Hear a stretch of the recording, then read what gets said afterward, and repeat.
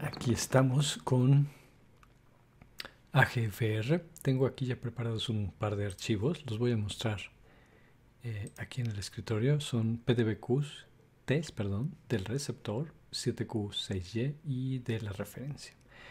Estos eh, receptores fueron preparados previamente de manera eh, que tiene que ver con la terminal, pero con esto podemos hacer una demostración de cómo funcionan los sistemas. Voy a usar Quimera. Ok, Quimera funciona. Vamos a abrir en el escritorio el receptor.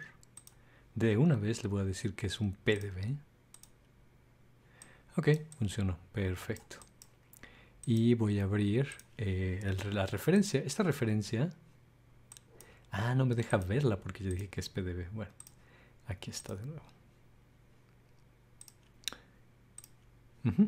Aquí este ligando ya está asociado en la superficie. Este ligando yo lo seleccioné en esa posición a través de un docking que realicé previamente.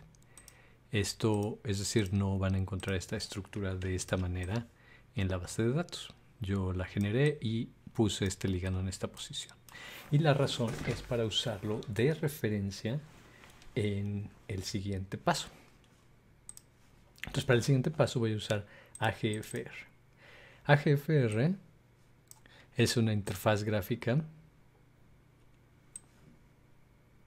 AGFR es una interfaz gráfica para generar las rejillas de búsqueda del docking. Es decir, este es un paso previo al docking. Podríamos decir de manera general que hay dos pasos previos al docking.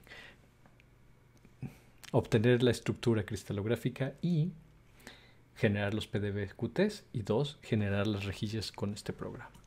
Este programa solo acepta PDBQTs y entonces tenemos lo que necesitamos. Aquí está el PDB, voy a irme al escritorio. Este es el receptor y lo vemos desplegado y ahora voy a abrir el ligando. Como el ligando de referencia ya está en una posición en la superficie, podemos usar eh, varios de estos botones para definir un espacio de búsqueda menor.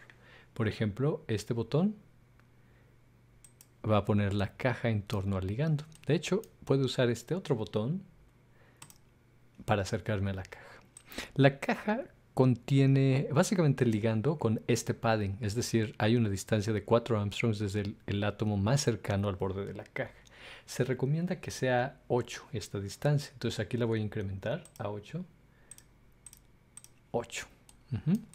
Ahora se ve significativamente más grande, pero también permitiría que ligandos más grandes que el que ya pusimos cupiera.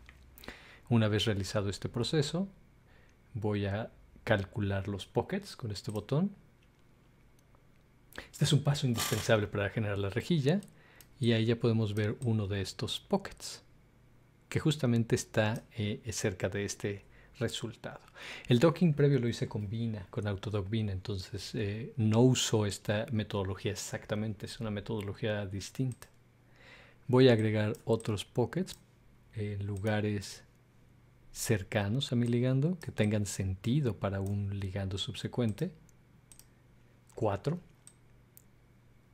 Me pareció que el quinto está, está muy lejos. Lo voy a poner porque está todavía dentro de la caja. Y tal vez es 6. Ahora, eh, voy a generar mapas de afinidad para más átomos que los que están representados en este ligando. ¿De acuerdo? Entonces para eso seleccionaré, seleccionaré for all atom types.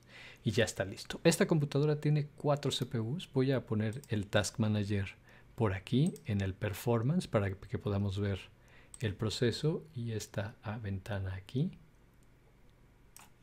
Listo. Entonces aquí este es el GPU. CPU está usando mi computadora 50% del CPU en este momento, probablemente porque estoy grabando este video. Hay cuatro cores. Ahora le voy a dar clic en Generate Target File me va a preguntar cómo quiero que se llame, voy a dejarle este nombre de default y le voy a dar save. Y entonces va a empezar el proceso. Veamos cómo se dispara el uso de CPU. 70%. Ah, esto es algo, pero está calculando los mapas. primero. Y de hecho podríamos ver en el escritorio, aquí está el folder donde están creando todos los mapas. Al final estos mapas van a terminar en un archivo comprimido, pero aquí los pudimos cachar mientras son escritos. Ya acabó los mapas pero ahora va a calcular no exactamente un mapa, sino un gradiente. Este gradiente se puede ver mucho mejor en el paper de Autodoc eh, FR. Eh, es, es, una manera de como generar una especie de potencial de lo que está expuesto al solvente y lo que está oculto. Es decir, va a ser más difícil que un átomo de ligando se entierre mucho en la proteína. Mucho, quiero decir, más de lo que lo permitiría la superficie. Y además se guía hacia las cavidades, funciona como con ese doble propósito. Todavía el uso está arriba del 50%, entonces no ha acabado. Casi no, no estoy seguro cuánta memoria está usando el proceso, pero no se ve significativo. 200 megas. Ajá, ya está, ajá, ya acabó los mapas y ahorita está agregando el ese gradiente que describía. Veamos en el escritorio. Sí, todavía está trabajando en estos archivos. Eventualmente va a desaparecer ese folder y va a ser reemplazado por el archivo de salida que, que pedimos. Vean, uff, aquí se dispara el uso de CPU. 100%. Entre el CPU que estoy usando al grabar y el CPU de el proceso. Ajá, pueden ver aquí está usando lo más que puede del CPU. Este es el paso más intenso en cómputo. Y se va a tardar más ahorita que lo estoy haciendo mientras estoy grabando.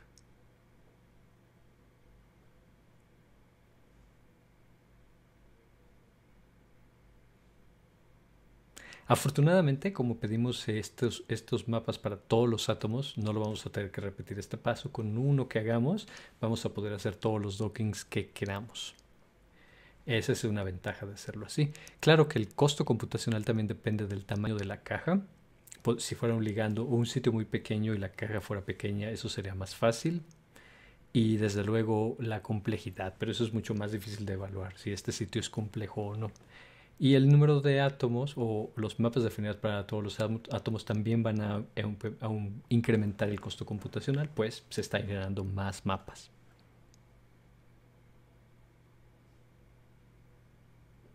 Y listo, ya acabó.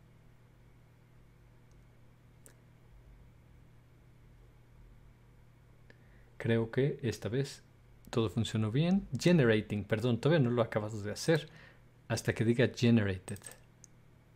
Sí, aquí todavía existe ese folder. Voy a ordenarlo por fecha de creación. Ajá, ¿vieron? Desapareció. Yo, yo no lo borré, lo borró el proceso. Y aquí ya indica que ya se generó el mapa y ahí está el TRG. 17 megas.